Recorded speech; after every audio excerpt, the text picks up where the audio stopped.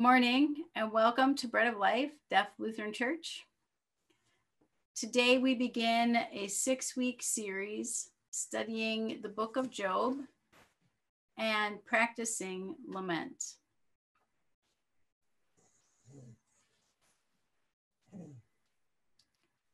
Lament is a unique time when we are free to express our sorrow, our mourning, and our regrets.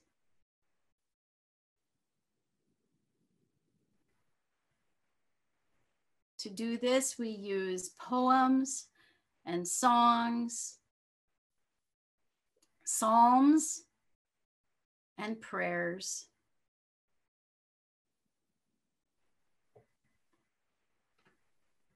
We passionately cry out our lament our sorrow, our grief, and those regrets we have. To do that, we make up our own poems and songs. We write our own psalms and our own prayers.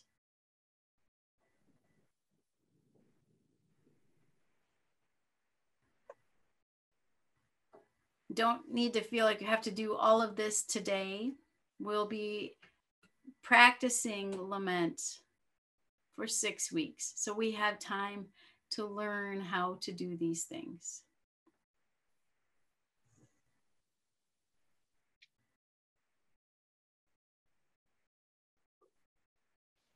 And this morning, those of us leading worship, as you can see here, there are three of us.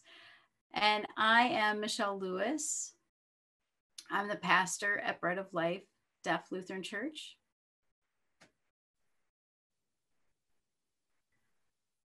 And I'm glad that you are here with us today.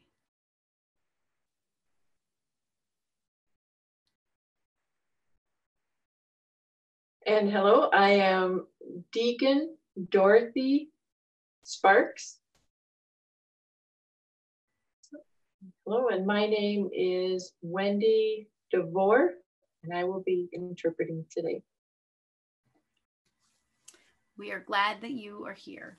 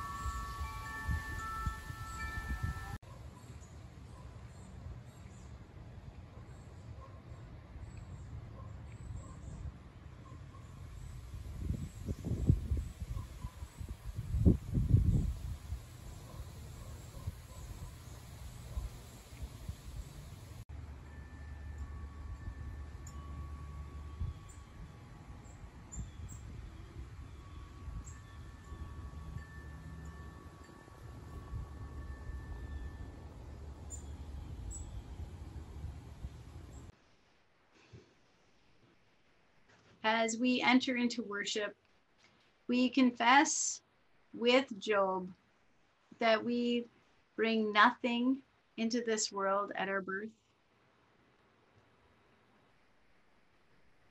And we take nothing with us at death. The Lord alone gives and takes away. and still we praise the name of the Lord.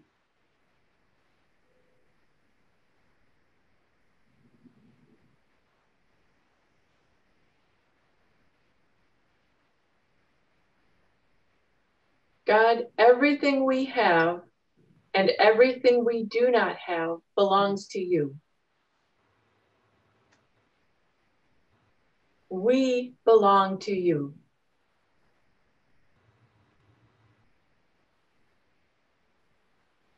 God, from your life and your spirit, you breathe life into your creation. We have our life in you. Lord, we bless you.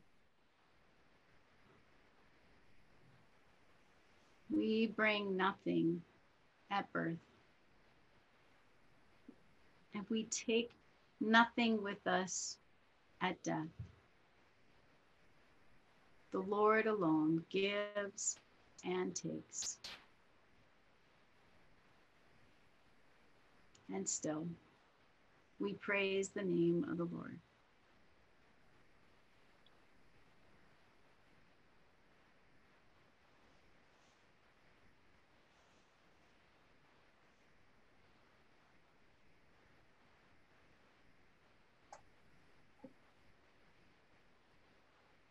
God, sometimes we are like Job's friends. We are not helpful. We blame people for the tra- tra- tragedies and trauma. We do not take the time to sit and to contemplate another's experience.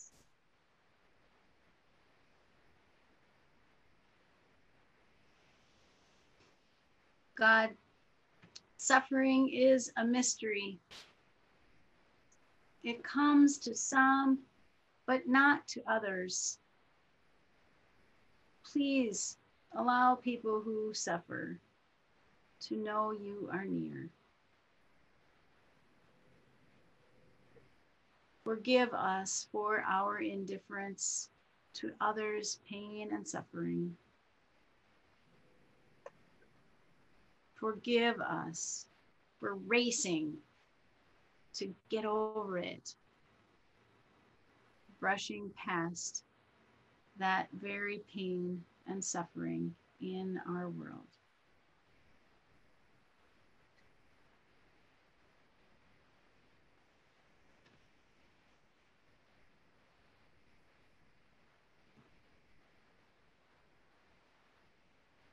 Help us to face suffering, not turn away or pretend that has not happened. Help us to question suffering and not to accept it and give up on being with others. Help us respect that in suffering, we experience what you experienced in the cross. May we draw near to you, O oh God.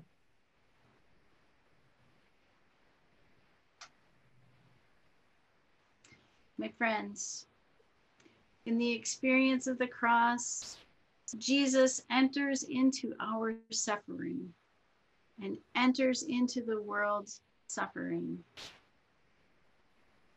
Because God loves us. God in Jesus Christ is willing to do this, enter into suffering. God chooses to love us even when we are not lovable. God chooses to love us even when we're focused on ourselves. God chooses to love us even when it causes God pain and suffering.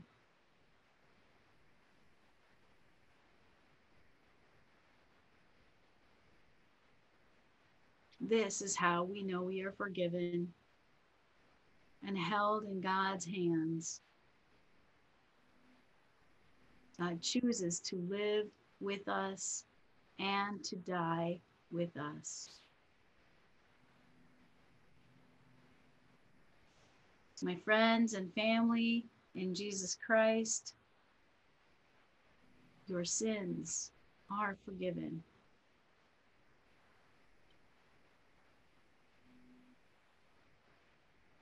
May this forgiveness allow you to be like God. How? That you choose to love others even when they are not lovable.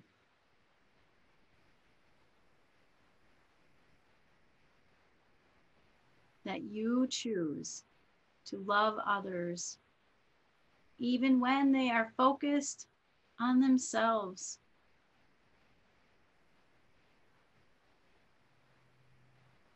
That you choose to love others even when it causes you pain and suffering. This is how we are like God in the world.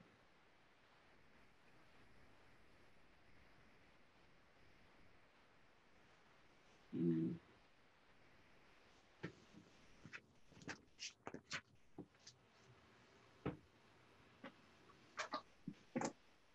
The grace of our Lord Jesus Christ,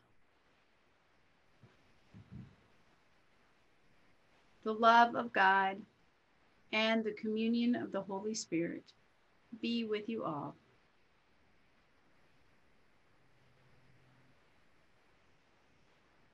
and also with you. My friends, our prayer for the day, for our time of lament and study in Job, uh, is a, a poem that comes from this book, Ordinary Blessings.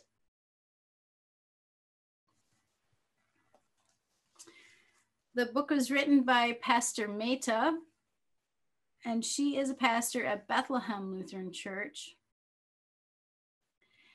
And um, Bethlehem is the church where I was ordained.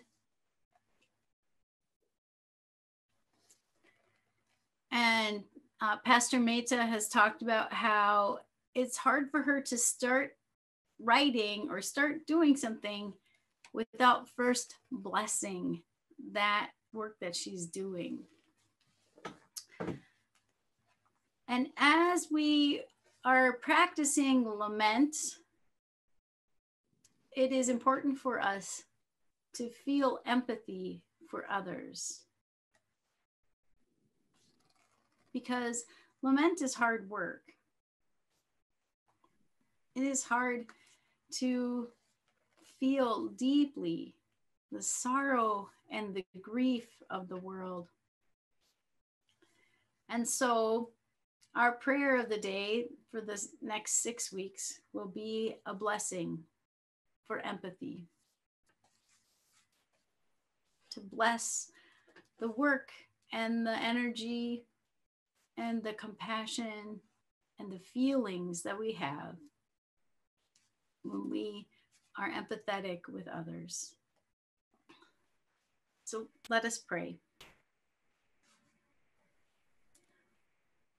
The world is not lacking opinions simplified by hindsight, advice for the weary, or subscriptions to the standardized.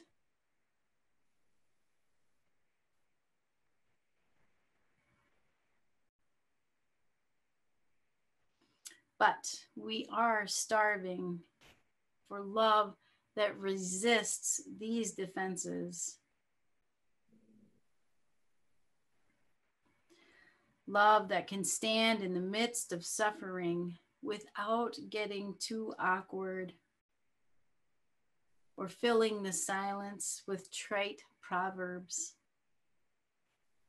wanting to earn its place by fixing what doesn't need fixing at all.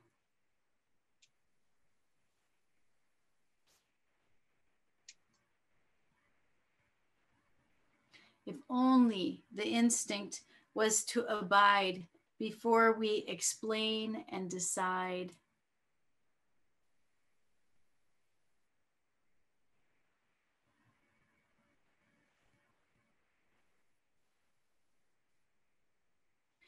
Listen for the Spirit who guides us into showing up, who shows us how to feel on behalf of another, who urges our quiet bodies alongside the ones who are not broken but lonely.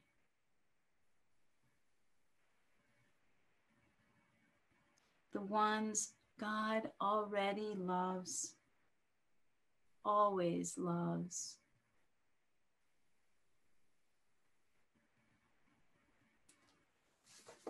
Amen.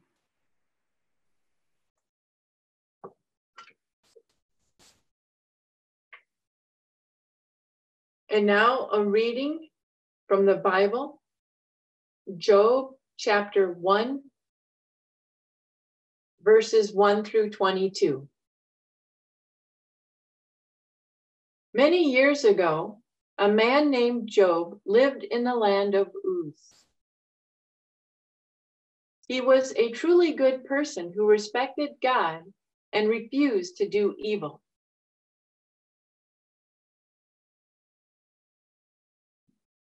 Job had seven sons and three daughters. He owned 7,000 sheep,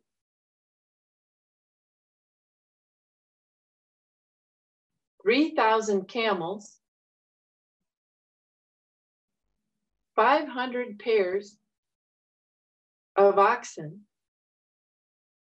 five hundred donkeys, and a large number of servants. He was the richest pe- person in the East.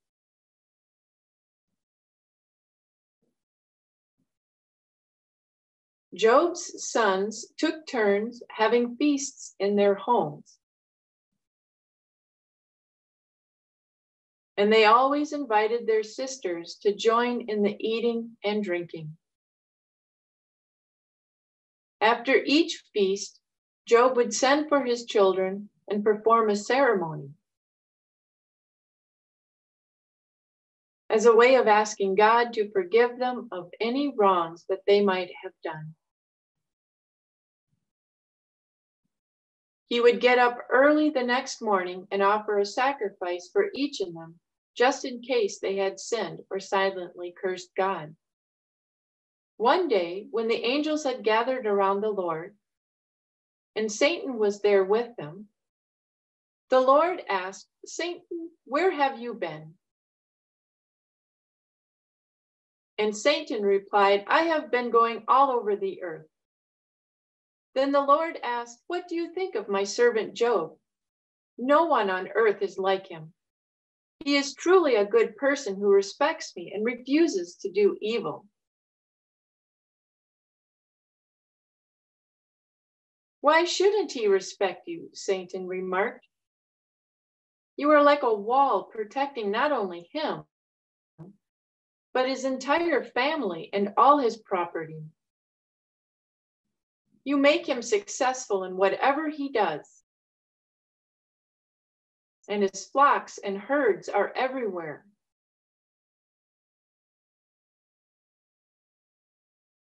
Try taking everything he owns, and he will curse you to your face.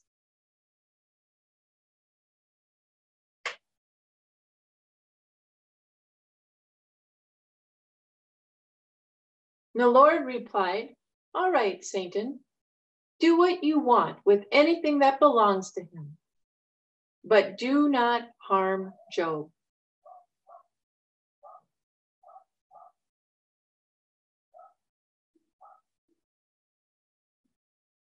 Then Satan left.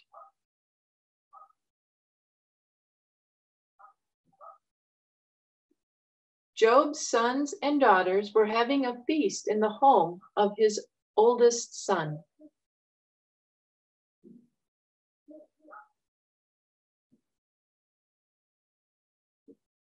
When suddenly someone rushed up to Job and said, While your servants were plowing with your oxen, and your donkeys were nearby eating grass, A gang of Sabeans attacked and stole the oxen and donkeys. Your other servants were killed, and I was the only one who escaped to tell you. That servant was still speaking when a second one came running up and saying, God sent down a fire that killed your sheep and your servants. I am the only one who escaped to tell you.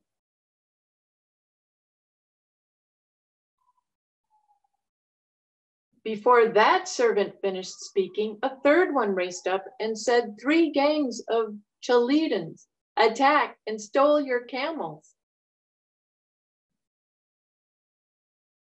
All of your other servants were killed, and I am the only one who escaped to tell you.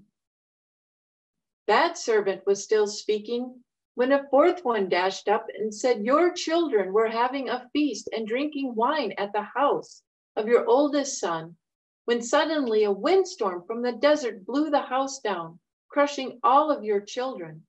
I am the only one who escaped to tell you.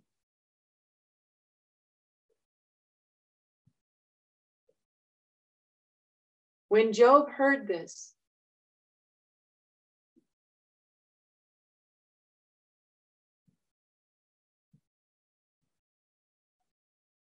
he tore his clothes and shaved his head because of his great sorrow. He knelt on the ground,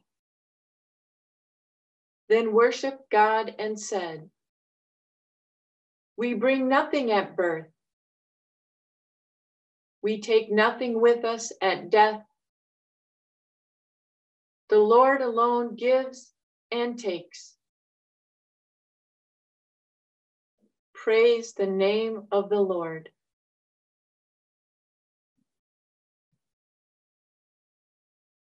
In spite of everything, Job did not sin or accuse God of doing wrong.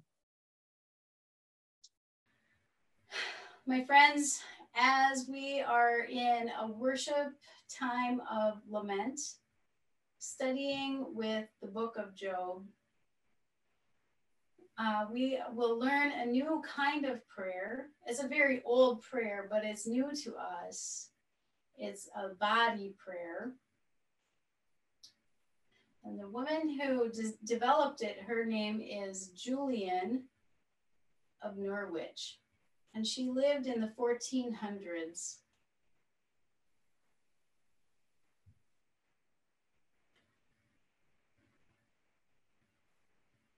And so this prayer has four prayer postures, and we use our bodies to pray. And so uh, as we go through it, we'll go through the prayer four times. The first time, we'll teach what our postures are. And then the second and third times, we'll just go through the flow. And the fourth time, I'll repeat the, um, the phrases that go along with each posture.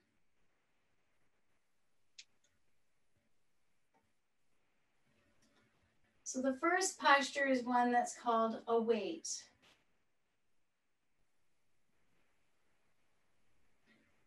And you notice it's a lot like how we sign wait. It's here. And what we're doing in this posture is we await God's presence, however it may come to us.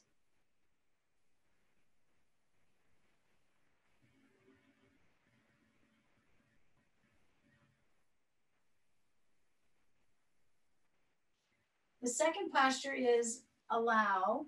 Your hands go up a little bit. They can go all the way up. They can come here you know if your shoulders hurt they don't it's just the, the sense of looking to god. This posture the goal is to allow yourself a sense of god's presence to come or not to come and to be what it is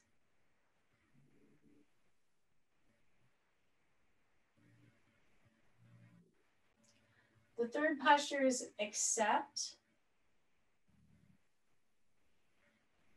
So your right hand goes to your heart, your left hand covers, and then you bow.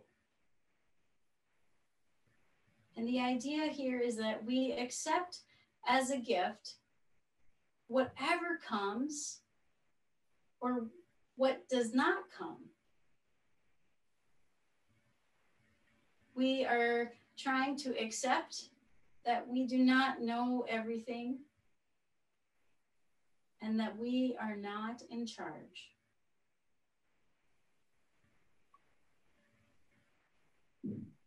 The fourth posture is called attend. And it looks a little bit like serve. Is to pay attention. Right? So we attend to what we are called to do, willing to be present, willing to be God's love in the world. However, God calls us to do that.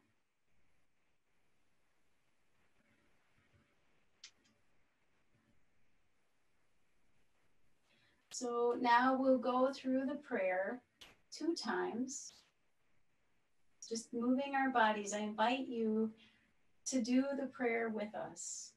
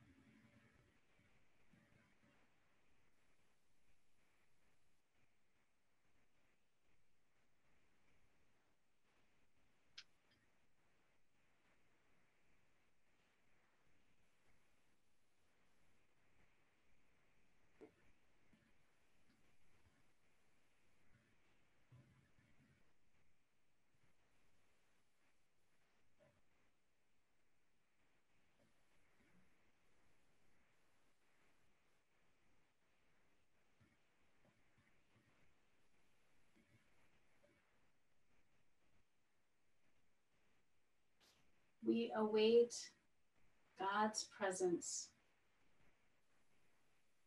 however it may come.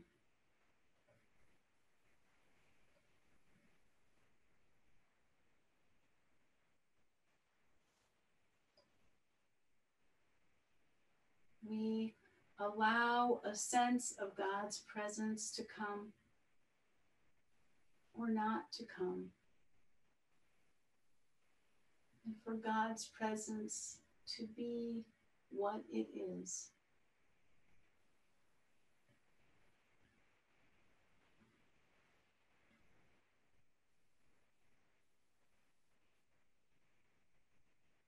We accept as a gift whatever comes and what does not come.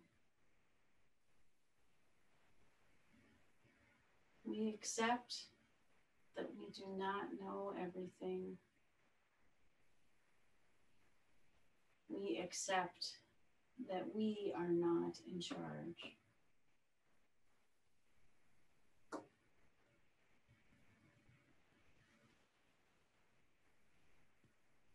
Attend. We attend to what we are called to do, mm-hmm. Willing to be present, willing to love the world like God loves the world.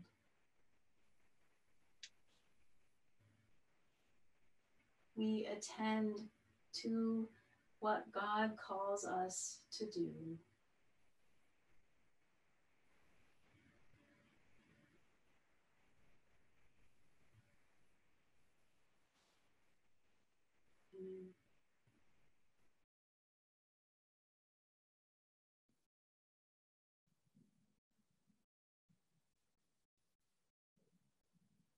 While I was driving around, I noticed a lot of signs that were posted nearby in my neighborhood. And at that time, I didn't understand what this meant Black Lives Matter. So I began doing some research.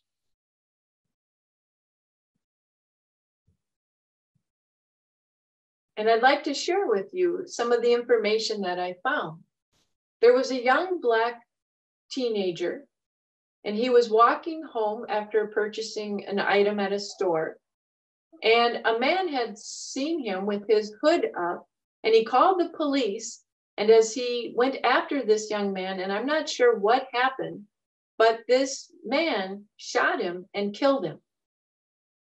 And when the police arrived, he told them, I had to shoot him, I had to defend myself. So the police, they looked him over and saw that this man had no bruises on him or anything. And so they arrested him for killing this young black man. And after this incident had happened, the black community responded in grief. And there were three black women that created these posters called Black Lives Matter. And so they were encouraging everyone to remember this. I had read another article that explained that if a white man is running down the street, if they're out for a jog or even just walking down the street, they wave to everyone and people wave, wave back to them and they don't have to fear for their life. But if a black man is running down the street or out for a walk, they have to fear for their life. Now, you might remember um, on the news where this one young black man was actually jogging through a neighborhood, and these three white men chased him down and they shot him. So why did this why did they do this? Why why are why is the white community afraid of black men? There was another incident of a young black man he was 12 years old and walking along on the sidewalk, and he had a toy gun with him. And the police pulled up on him and they shot him. Within two seconds, when they pulled up on him,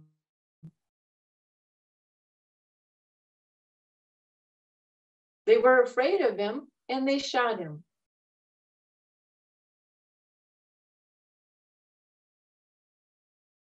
And in America, we talk about freedom, and yet we have a long history of violence and oppression in this country. In 1863, President Abraham Lincoln decreed that slavery was no longer legal and that Black people were freed from slavery. And even though they were freed from slavery, they still were not able to find employment and they were segregated in housing and they couldn't sit in the same restaurants or even ride the bus with people who were white. Black people were told they had to sit in the back of the bus until one day when Rosa Parks refused to give up her seat. Rosa Parks, who was a Black woman, and that incident began the Civil Rights March. And it was a peaceful protest. And in spite of it being peaceful, this march of, of Black community members frightened the white community and they arrested them and tried to stop them from protesting.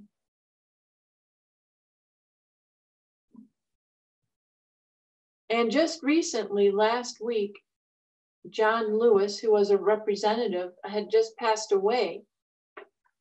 And he had been involved in these marches. And I was surprised to hear that he had been arrested 45 times for these protests. And he still persisted and stood with the Black community. In 1964, President Johnson signed the Civil Rights saying that Black people were equal with white people. And even though that this was signed into law, they did not experience the justice and the equality that white people experience.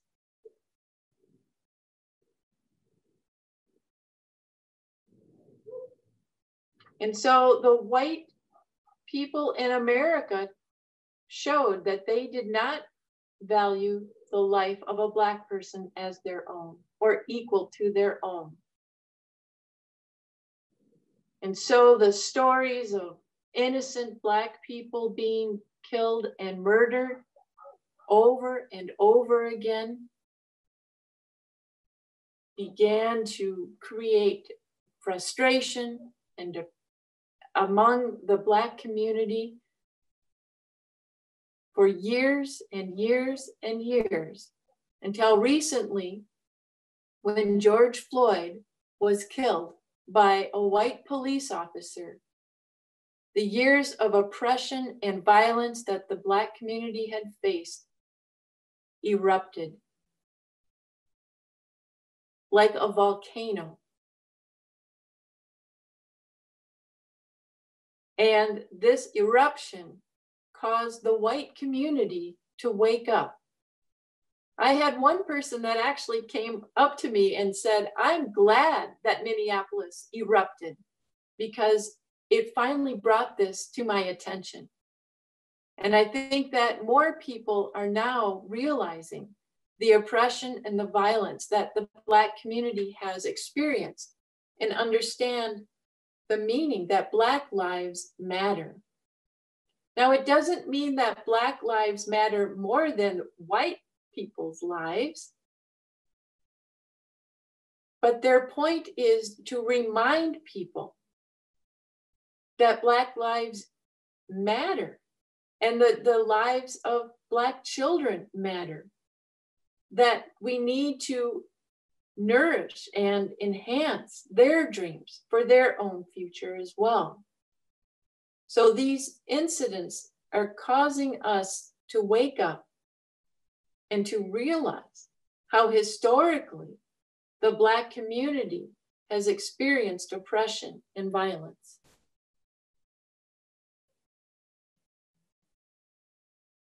Now, we might have thought in the past, well, Black lives, maybe they it didn't really matter. You know, people are saying, oh, you have to be careful. And, and maybe we, or we just didn't recognize that people weren't valuing the lives of Black people.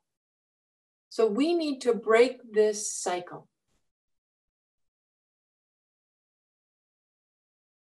We need to break this cycle and stop feeding into this system. And we need to realize and truly take seriously that Black lives do matter.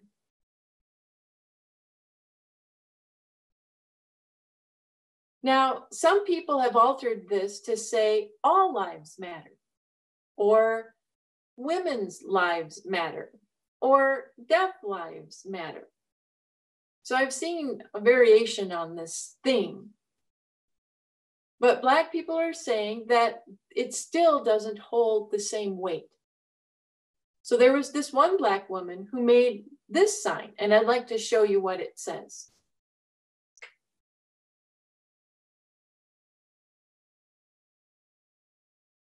It says Black Lives Matter.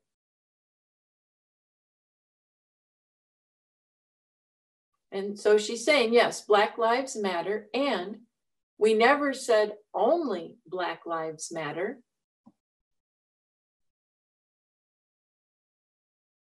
We're not saying that that only Black Lives Matter and not anyone else's.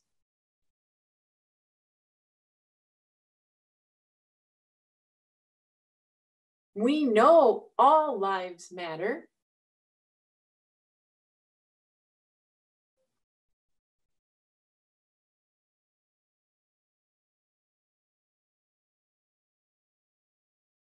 But we need your help because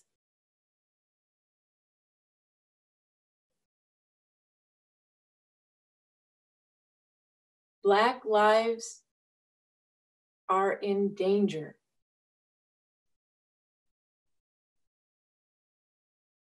So maybe we think, well, this isn't really that that cr- critical because our lives don't feel threatened. But we need to realize that Black people and in the Black community feel that their lives are threatened. And if you're in fear of your life, that will cause depression and fear. So, what can we do? How can we be a part of Black Lives Matter and show that their lives are valued as well? And in the Bible, it says love is stronger than fear.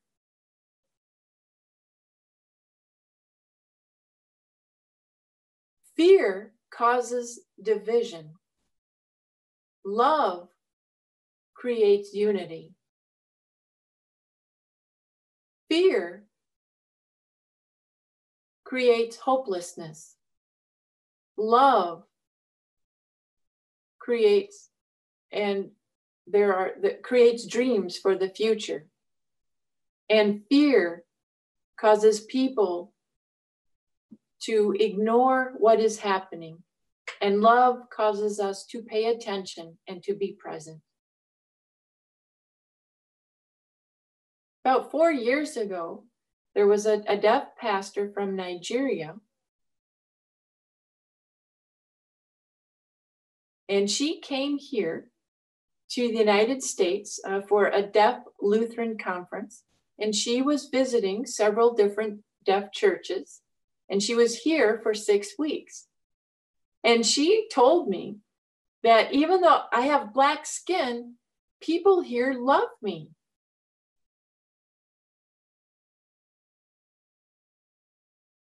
And that shows that love conquers fear. She was amazed that she was accepted and loved here in America, even though her skin was black. Love is more powerful than anything else. And people are crying out for love and for peace and for justice.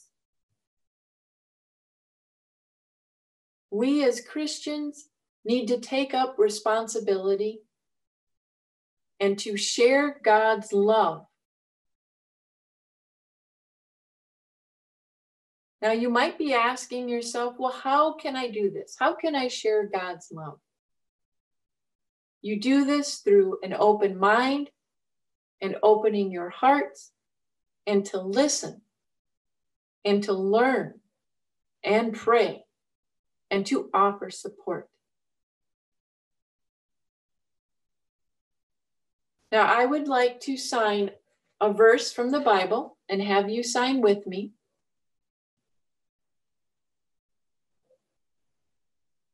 For God has not given us a spirit of fear, but of power and of love and of a sound mind.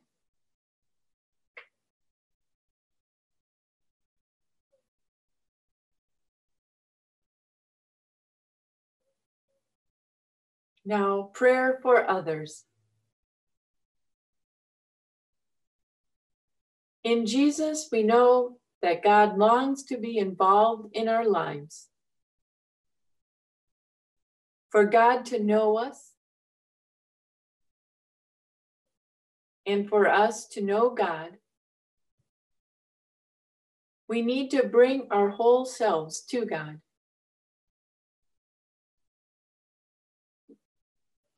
God, it is not fair that some people must endure horrible circumstances. We must tell you about the pain in our world.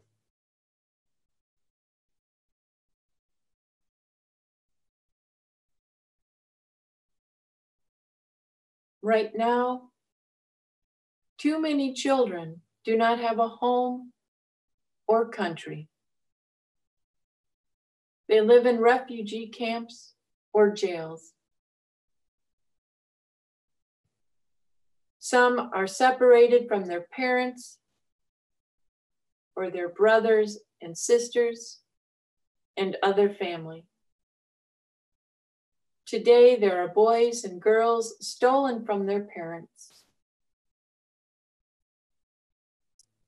They are slaves and they cannot get to safety. People are sick, and now many people die alone. In the United States, this happens more often for people with black or brown or indigenous skin colors. We pray for teachers, students, administrators, and many others involved in planning for the school year. Give guidance and wisdom.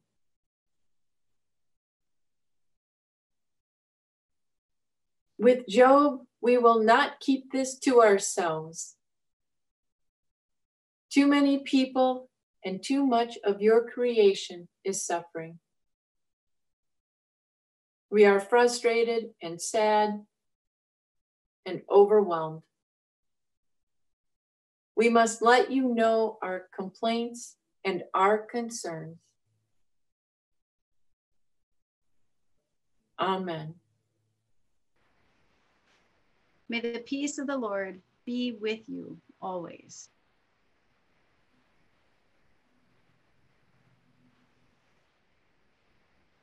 And also with you. Please take a couple of minutes here to share a sign of God's peace with others. It's, as we've talked about in other weeks, it's so important to check in with one another as we continue to be separated. We are not worshiping together in our building. So get out your phone and text someone or quick type up an email let them know I'm thinking of you and share the peace that comes from God with you.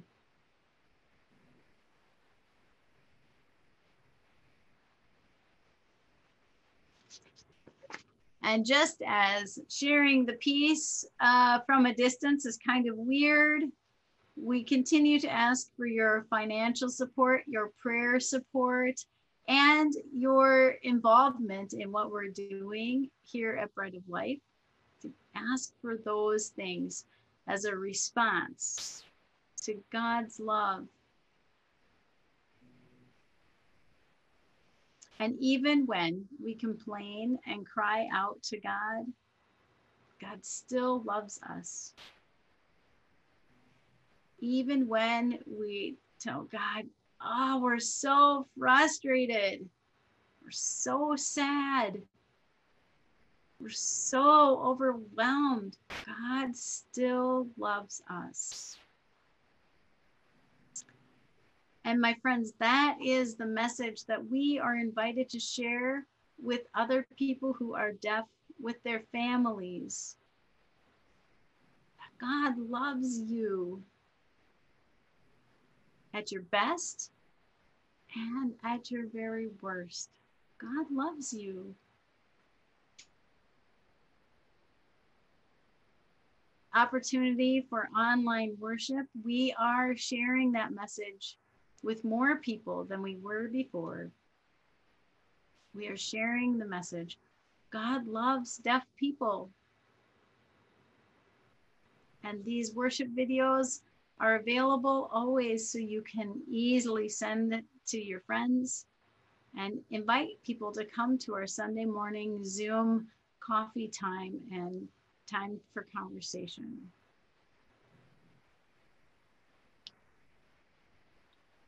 So we are doing the work. We're not going to our building, but we are doing the work God has called us to do.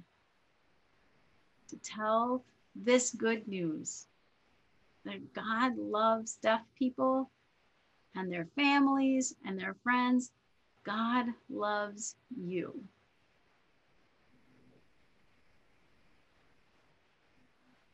So please prepare your offerings and send them to Bread of Life and if you're interested to give online through PayPal, please let me know.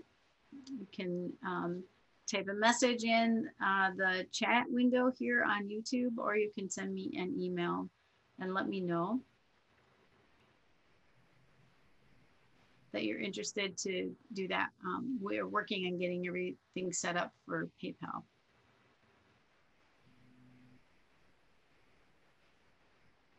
So thank you for your faithfulness.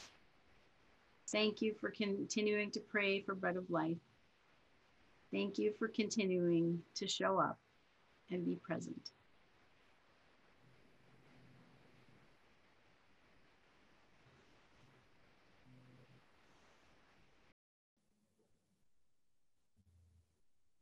And now the Lord's Prayer.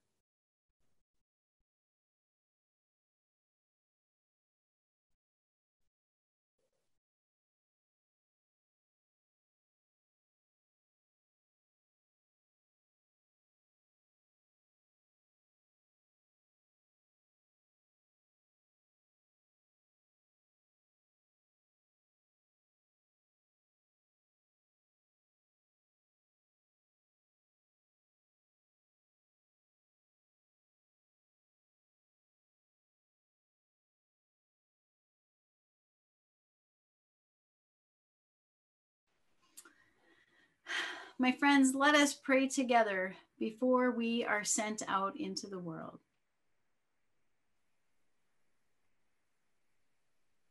God, there is so much. Mm. Sometimes I feel totally overwhelmed and I long to just check out, to stop paying attention to your world to stop focusing on others. It feels like at every turn, there's some other thing I'm supposed to know. Ugh. In these moments, it is tempting to lose my curiosity, to lose momentum, to lose the one that I am in you. Please turn me back to you. Drive me to my knees in prayer. Catch me in your strong arms. Deepen my faith and trust in Jesus. Then I can be your presence for someone else who needs to know that you love them.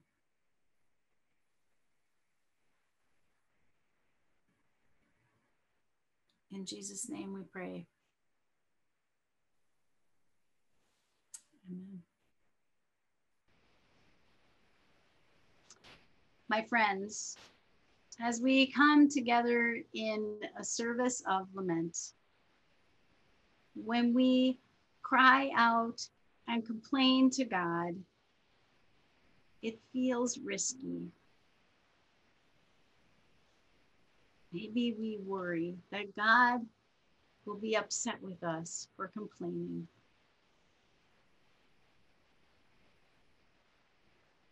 So today, right now, receive this blessing, this promise that God loves you.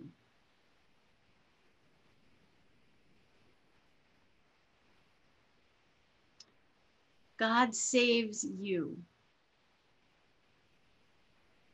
When the waters of life rise up to your neck and you feel like you're going to drown,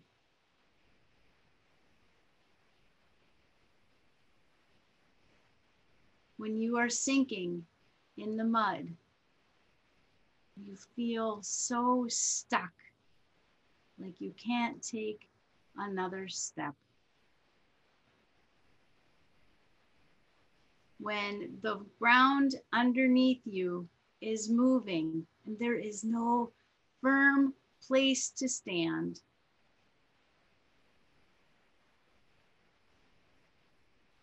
when the deep, deep waters swirl all around you.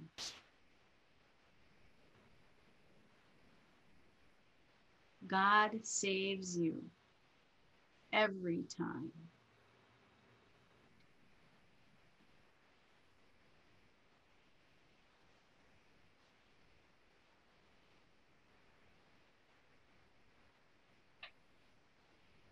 And now, maybe this week, you might feel like you're in this boat being tossed about in the storms of life. Remember, God jumps into the water and stays with us. God chooses to be in the waters with us. God loves me. God loves you. And God loves all.